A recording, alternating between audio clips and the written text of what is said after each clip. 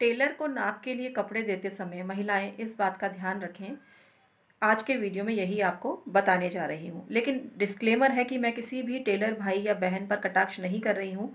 मैं सिर्फ़ और सिर्फ़ ज्योतिषीय दृष्टिकोण से इसका मूल्यांकन कर रही हूँ, क्योंकि कई बार ऐसे तंत्र प्रयोग होते हुए देखे गए हैं। नमस्कार मित्रों, मैं हूँ डॉक्टर उमाश्री और आपका बहुत स्वागत करती हूँ। मित्रों, जो पहने हुए कपड़े होते हैं, जिनमें आपका स्वेद होता है, पसीना होता है, उस पर तांत्रिक प्रयोग किए जाते हैं।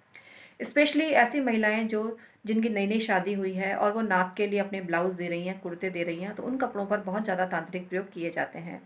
हालाँकि टेलर मैंने देखा है, मैक्सिमम मैक्सिमम अच्छे ही होते हैं, ये इक्का दुक्का ही होते हैं जो लोग सही नहीं होते हैं और यहाँ मैं उन्हीं की बात कर रही हूँ।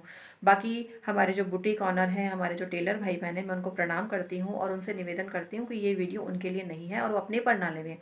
लेकिन कुछ गलत टाइप के लोग होते हैं, यहाँ उनसे सावचेत रहने के लिए मैंने ये वीडियो बनाया है और इस विषय को वहीं तक सीमित रखें।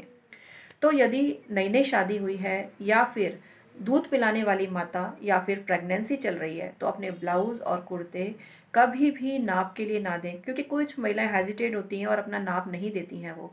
वो अपने कपड़े दे देती हैं कि भाई ये नाप के लिए ले लो और इसके, इसको देख कर ही आप इस तरह का बना दो। लेकिन आपको वो कपड़ा यदि देना ही पड़े तो धोकर देना चाहिए और तीन बार कट कट कट बोल के उसका और कट करके आपको देना चाहिए।